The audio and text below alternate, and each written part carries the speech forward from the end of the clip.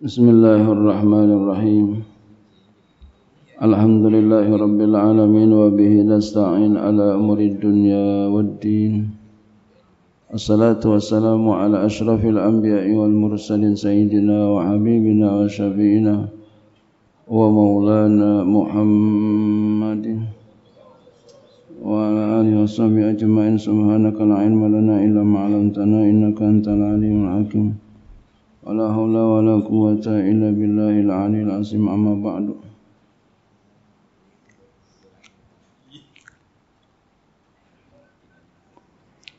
قال مصنف قال مفسر رحمه الله تعالى وأدم نفع في علم في دارين آمين. وقال محمد بن إسحاق حدثني محمد بن أبي محمد عن إكرمة أو سعيد بن جبير عن ابن عباس berkata oleh Muhammad bin Ishaq telah bercerita kepadaku oleh Muhammad bin Abi Muhammad dari Ikrimah atau Sa'id bin Jubair dari Ibni Abbas qala beliau berkata qala banu Suriya al-Fatyumi berkata oleh Ibnu Surya Al-Fatyuni li Rasulillah kepada Rasulullah sallallahu alaihi wasallam Ya Muhammad wahai Muhammad. Ini orang Yahudi ya Ibnu Surya orang Yahudi. Ya Muhammad majitana bisyai'in na'rifuhu. Majitana tidaklah engkau datang bisyai'in dengan membawa sesuatu na'rifu yang kami kenal. Akan dia. Wa ma anzalallahu 'alaika min ayatin bayyinatin fanatba'uka. Dan tidaklah Allah menurunkan atas engkau daripada ayat yang jelas. Ah apa ya wa ma anzalallahu dan apa yang Allah turunkan kepada engkau daripada ayat yang jelas yang kami dapat ikuti engkau. Kata orang Yahudi. Jadi kata orang Yahudi ya Muhammad tidaklah engkau datang dengan membawa sesuatu yang kami kenal dia. Dan apa Eh, naat apa naat aja ya. Wa ma anzalallahu alaika min min ayatin bayyinatin fanatba'uhu. Dan tidak Allah turunkan kepada engkau daripada ayat yang jelas yang kami dapat ikuti engkau. Jadi kata orang Yahudi orang Yahudi menuduh Nabi bahwasanya Nabi enggak membawa sesuatu yang dia kenal dan Allah enggak turunkan ayat yang jelas yang dapat dia ikuti. Kata orang Yahudi. Maka ketika itu fa anzalallahu fi dzalika. Ini nama asbabun nuzulnya. Maka oleh karena itu Allah Subhanahu wa taala turunkan pada demikian itu min qauli daripada perkataannya firman Allah walaqad anzalna ilaika ayatin bayyinatin wa ma yakfuru bi illal fasiqun sungguh benar-benar kami turunkan kepada engkau ayat-ayat yang jelas dan tidaklah mengkufuri dengan ayat-ayat itu kecuali orang-orang yang fasik. Jadi kalau ada orang mengkufuri ayat-ayat Allah, firman Allah tu orang fasik. Iya. Zaman sekarang udah banyak yang kayak begini.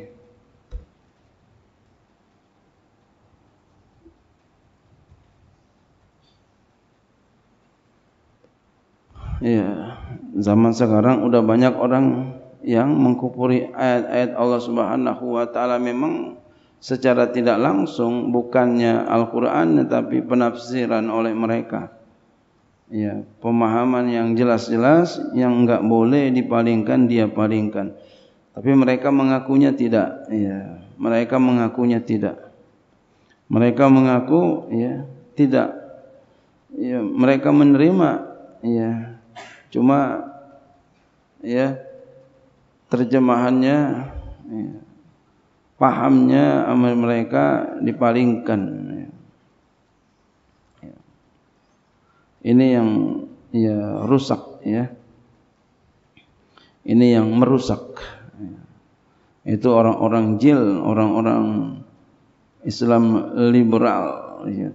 banyak yang kayak begitu ya, sekarang udah ada ya mereka kepengen melegalkan hukum zina apa sama mereka dihalalkan yang penting suka sama suka ini mau dibuat undang-undang sama mereka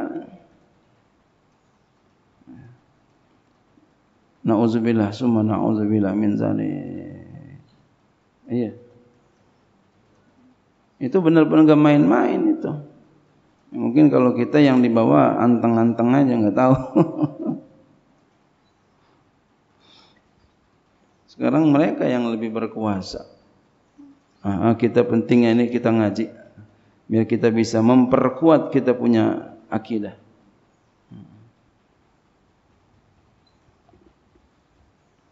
Bacaan-bacaan kayak begini mereka udah rada enggak mau pak. Ya bacaan-bacaan tafsir kayak begini enggak mau. Ya. Kenapa? Karena tafsir ni kalau kita baca satu ya satu aja. Mereka maunya mereka yang menafsirkan. Karena tafsir itu banyak. Jadi mereka juga mengaku punya tafsir, tafsiran mereka.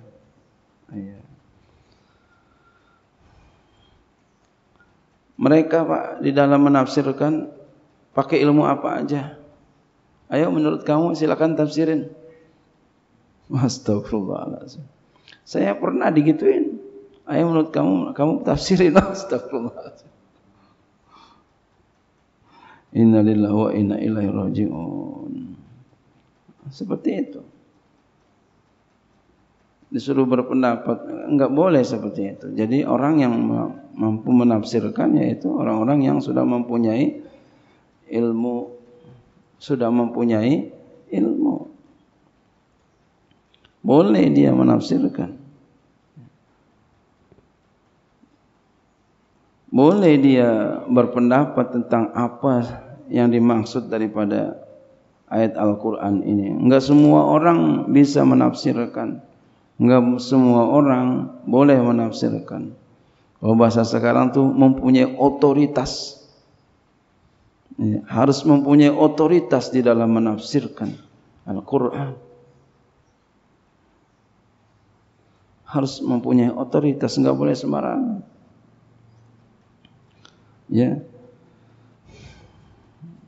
Dan kalau orang tingkatan ngaji kalau di kita ada tingkatan-tingkatannya ada mubtadi pemula ada mutawasid ya, penengah ada muntai sudah rada tinggian tu muntai itu udah hebat banget sih gitu juga lebih tinggi lagi mujtahid fatwa lebih tinggi lagi mujtahid mazhab lebih tinggi lagi ya mujtahid mutlak Baru tu yang paling tinggi mujtahid mutlak.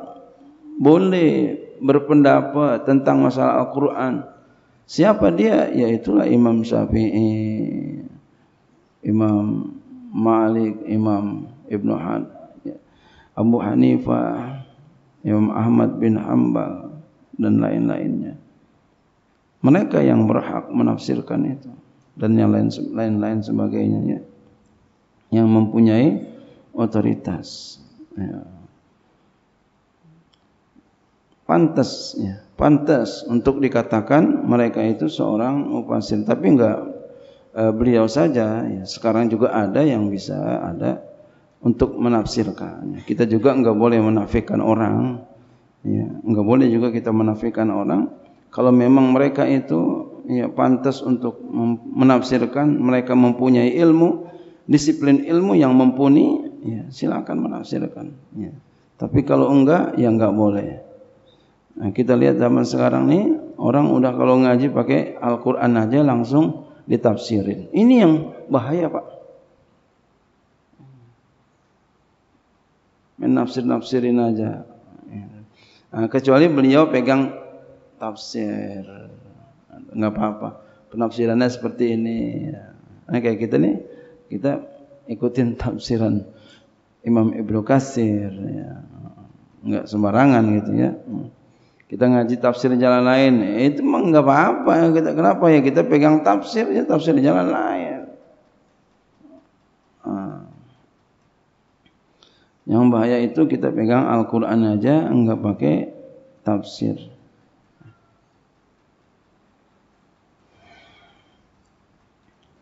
Ya.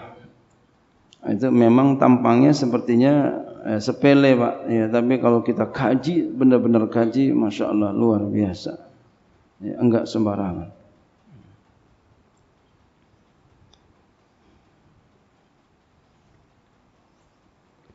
Jadi ilmu Al-Quran itu sangat banyak ya, sangat luas sekali. Itu nanti belum jadi itu kitab saya itu ada Al-Irfan saya namakan.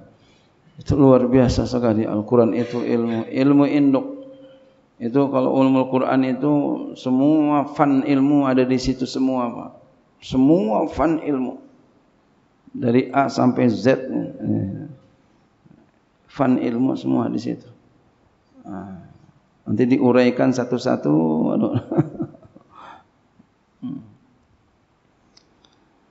wa qala malikun ibnu saifi berkata oleh Malik bin Saif Hina bu'isa Rasulullah ketika dibangkitkan ya Rasulullah sallallahu alaihi wasallam menjadi rasul wa dzakkarahum dan beliau memberi peringatan kepada mereka manusia ma ukhiza alaihim apa yang diambil atas mereka minal misaki daripada perjanjian wa ma uhida ilaihim dan apa yang di ambil janji kepada mereka fi Muhammadin tentang Muhammad sallallahu alaihi wasallam. Wallahumma ahida ilaina. Dan Allah tidaklah berjanji kepada kita fi Muhammadin pada Muhammad sallallahu alaihi wasallam. Wala akhaza alaina misaqan. Dan ia tidak mengambil janji kepada kami. Ya kata mereka fa anzalallahu Lalu Allah Subhanahu wa taala turunkan ayat aw kullama ahadu ahdan nabazahu nabazahu fariqum minhum. Dan setiap kali mereka mengambil janji berikat janji akan satu janji maka sekelompok daripada mereka melanggar wa qala al hasan al basri berkata hasan basri fi tentang firman Allah wal aksaruhum la yu'minun. Bahkan kebanyakan mereka tidak mau beriman. Qala na'am. Ia berkata iya laisa fil ardi ahdun yu'iduna alaihi illa naqaduhu wa nabazuhu. Dan tidaklah di bumi ini satu janji yang mereka berikat janji kepadanya melainkan mereka membatalkan janji dan melanggar janji. Ya. Orang-orang Yahudi begitu sampai sekarang kan begitu di Israel. Udah ikat perjanjian dibatalin. Janjian dibatalin dari dulu bukan dari sekarang aja. Yu'ahidunal yauma mereka berjanji hari ini. Wayan kuduna godan dan mereka membatali janji esok hari. Waqala hasan waqala sudi berkata asudi la yu'minuna bima ja'a bi muhammadun sallallahu alaihi wasallam mereka tidak beriman dengan apa yang datang oleh Nabi. Ya, maksudnya dengan apa yang dibawa oleh Nabi Muhammad sallallahu alaihi wasallam. Enggak percaya. Wa qala qatadah tu berkata Imam Qatadah nabazahu fariqum minhum artinya naqadahu fariqum minhum. Sekelompok di antara mereka membatalkan janji Wa qala Ibnu Jarir berkata Ibnu Jarir asal nabzi at-tarhu wal ilqa'u. Asal nabz adalah at-tarhu melemparkan ilqa sama melemparkan. Ya membatalkan janji dilemparin janjinya. Wa minhu di antaranya sumya laqitu manbuzan. Dinamai laqit laqit itu laqit itu orang yang hilang. Ada dengan lukotoh lukotoh barang yang hilang lakit orang yang hilang. Ya. Lakit suka kita temu eh, suka di TV ada tu ya di medsos ya. Ada anak bayi itu ya hilang. Ya. di pinggir jalan di semak belukar bayi ditaruh di kerdus itu namanya lakit. Iya, ini Tapi bukan lagi dilemparin mamanya itu. Innalillah. Nauzubillah, semua nauzubillah min zalik. Namanya madbuzan. Wa minhu dan di antaranya sumya nabizu dinamai dia nabiz wa huwa dia itu adalah at-tamru tamar. Nabiz juga bisa dinamakan tamar wazabibu zabib iza tuli'a fil mai apabila dilemparkan keduanya pada air. Jadi minuman nabi ya apa kurma dibuat minuman yang memabukkan nabis jadi kurma bisa diolah menjadi minuman yang memabukkan. Ya. anggur ya yang kita tahu kan anggur itu ya Qala Abul Aswadi Ad-Du'ali berkata oleh Abul Aswad Ad-Du'ali.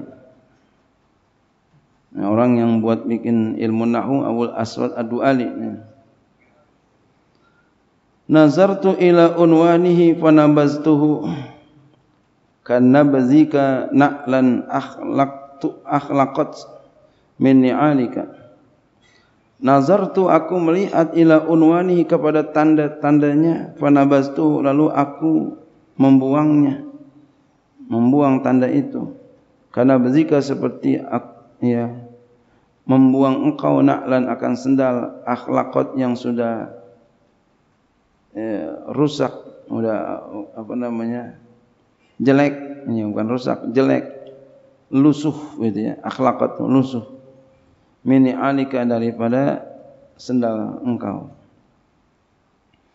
Kultu aku katakan fal kaumu kaum itu zamma zamma humullahu bin al uhuda kaum yang Allah kaum yang kaum mereka itu yang Allah celak mereka dengan sebab melanggar mereka akan janji-janji allati taqaddamallahu ilaihim yang Allah kedepankan kepada mereka fit tamassuki biha dalam berpegang teguh dengannya. Wal qiyami bi akiha dan berdiri dengan haknya. Wali hadza oleh karena ini aqaba um zalika takziba bir rusuli bir rasuli al mab'us ilaihim wa ila nasi kafatan oleh karena ini Allah iringi mereka demikian itu pendustaan dengan Rasul yang dibangkitkan kepada mereka dan kepada manusia seluruhnya. Allazi fi kutubihim. Ya, Allah iringi ya yang ada dalam kitab mereka na'tu sifatnya wa sifatu dan sifatnya wa akhbaruna dan hadis-hadisnya berita-beritanya. Waqad umiru fi'a bi'itsba'i dan sungguh mereka benar-benar diperintahkan padanya dengan mengikutinya ya di dalamnya dengan mengikutinya Rasul itu wa muazzaratihi dan mendukungnya wa munasaratihi dan menolongnya. Nah, jadi seharusnya kayak begini kita kalau ada seseorang ya kalau dulu kan nabi kalau sekarang ustaz kiai gitu ya. ya kita harus apa? Ikutin dan ya muazzarah, dukung dan munasarah, menolong. Oh, kalau ada ulama di kampung kita, ya kita dukung ini. Seperti ini, ya. harusnya diikutin dan didukung dan ditolong. Eh, jangan kita benci. Kalau kita benci, nanti anak kita nggak jadi pak. Iya. Nanti anak kita nggak jadi. Kenapa? Karena kita benci sama orang yang bantuin agama Allah. Ya. Jangan sampai ya. benci wali-walinya Allah. Allah siap perang kepadanya. Siap perang. Jangan sampai kita benci. Ya. Kadang ya kita pengen keluarga kita yang jadi anak kita, enggak tahunya enggak jadi. Kita nya benci yang sampai. Kita dukung, kita enggak bisa. Insya Allah nanti kita senang sama orang yang bisa tetangga kita atau orang kampung kita. Insya Allah nanti satu saat anak kita yang jadi. Kita cuma bisa senang aja. Kita enggak bisa ongkosin. Minimal lagi diam aja dah. gitu. Iya. diam aja. Diam aja. Karena susah kalau baca kitab kan susah. Bisa baca kitab kan susah pak. Kayak baca kayak tadi kayak begitu kan susah. Kagak gampang kan. Masya Allah. Belajar nak usorok. Iya. Tapi alhamdulillah di sini alhamdulillah mudah pak. Allah kasih. Mudah. Gampang aja Allah kasih. Yang sungguh-sungguh tentunya. Masya Allah. Ya, jadi kita hargain orang bisa baca kitab kayak begini kan kagak gampang, susah banget. Kalau belajar matematika, bahasa Inggris sambil maksiat bukan nyuruh maksiat, bukan. Bisa. Tapi kalau belajar kitab kuning kita ngaji sambil maksiat, rontok. Ya, lupa lagi. Dia pacaran juga, dia maksiat juga, apa dia main ngaji juga, dia pacaran juga. itu rontok. Dan kesononya ilmunya kurang manfaat. Dia harus diiringi dengan ketakwaan. Oh ngaji dan begitu, enggak boleh dicampur-campur. Iya. Kama qala sebagaimana Allah berfirman allazina yattabi'una rasulan nabiyyal ummiyal ladzi yajidunahu maktuban indahum fit taurati wal injil orang-orang yang mengikuti rasul nabi yang umi yang mereka dapati dia tertulis di sisi mereka dalam Taurat dan Injil.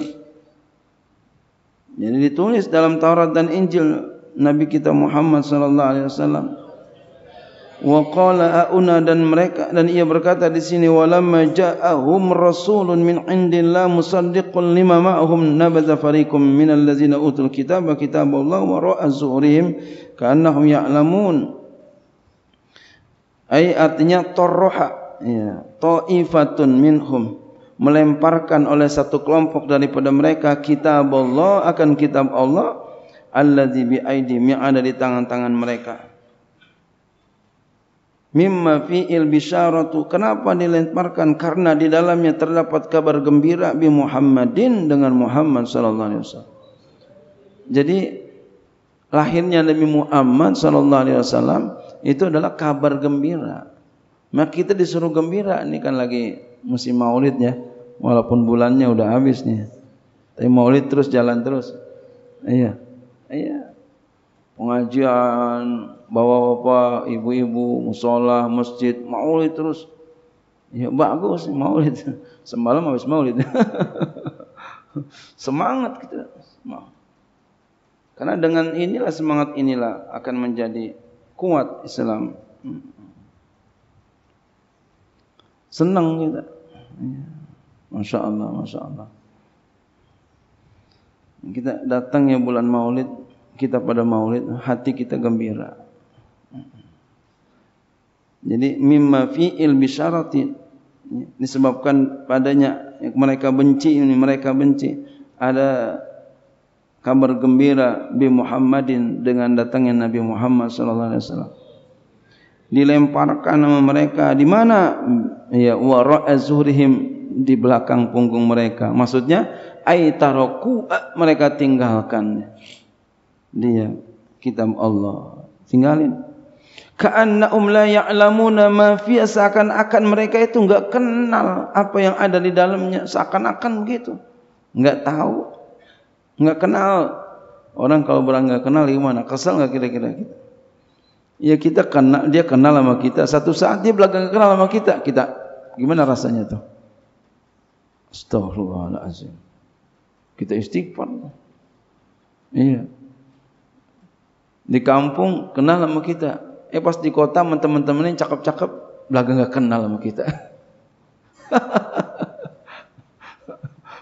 Oh, masa kita gue bagel juga.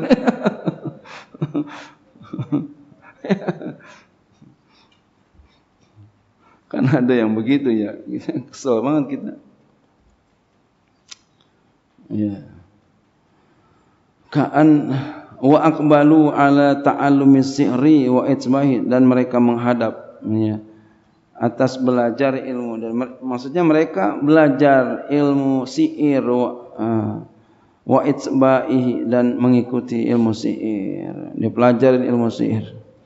Wali hadza oleh karena ini aradu kaidan bi Rasulillah sallallahu alaihi wasallam. Mereka ingin menipu Rasul sallallahu alaihi wasallam. Mereka ingin wasaharuhu mensihir Rasul fi mustin wa musyaqqatin wa jufi tal'atin zakarun mereka ingin men, me, mensihir Rasul ya pada sisir dan buntelan buntelan ya secari kain ada bungkus bungkusan tu Pak. Sihir bungkusan. Depan rumah ada bungkusan, hati-hati. ya, pernah saya cerita dulu ada orang di sini dia datang ke sini ya. Dia uh, putus hubungan suami istri cerai dia. Tiba-tiba tuh Pak. Aneh ya, datangnya ke sini. Tiba-tiba. Padahal kan jauh dari sono. Di pintu tol dia pulang, dari pintu tol Nah, dia kemarin kan jauh ngapa ke sini gitu. Iya. Masjid Atikin kan ada ngapa kemarin. dia kemarin minta permisi mau bermalam di sini. Dia lagi sama suaminya lagi konflik ya. Bercerai sama suaminya. Ya. Ya saya tanya-tanya tanya-tanya dia, dia menjawab ya memang ada di depan rumah saya itu uh, ada bungkusan kain ya, kain kuburan itu. kain putih kuburan. Ini. Oh itu itu kerjaan orang kagak bener itu ya. Ini, semenjak itu kata dia tuh hubungan suami istrinya berantem terus. Ini, emang ada sini kemarin dah kita kisahkan ya. Al-Qur'annya ada ya. Nah, ini sihir Pak, sebaiknya kita sihir jangan dipelajarin baru-baru niatnya pengen nolongin orang lama-lama ya ngerjain orang ya. tapi enggak usah khawatir sama sihir pak yakin nama Allah ya yakin nama Allah amalin aja tuh. Dia usama zikir pagi sore. Amalin pagi sore bapak amalkan ya. Yakin pak insya Allah orang-orang jahat itu mau merusak insya Allah enggak ya Allah halangin Allah halangin dan berbalik kepadanya. Ya, berbalik lagi kepadanya. Ya, kita baca pagi sore insyaallah biiznillah dengan izin Allah terhalang karena sekarang banyak yang begitu Pak banyak sekali iya malah nawarin itu ya silakan mau yang berah, mau yang cepat tapi yang lambat Inna lillah wa inna ilaihi raji'un. Nah, kita jangan gentar, jangan takut lalu kita cari dukun lagi. Eh, jangan. Eh, jangan. Punya Allah. Punya Allah. Kita punya Allah. Jadi kita punya Allah, jangan kita ya rusak kita punya akidah. Jangan kita rusak punya akidah kita belajar uh, kita ya uh, yakin nama Allah amalkan saja tu dia usama zikir pagi sore penuh dengan keyakinan ya penuh dengan keyakinan. Insyaallah ditolong oleh Allah Subhanahu wa taala. Ya dan tandanan ya kering kurma tahta raunati bi'rizi arwana di bawah batu uh, sumur Zi Arwan nama sumurnya. Ya ditaruh di situ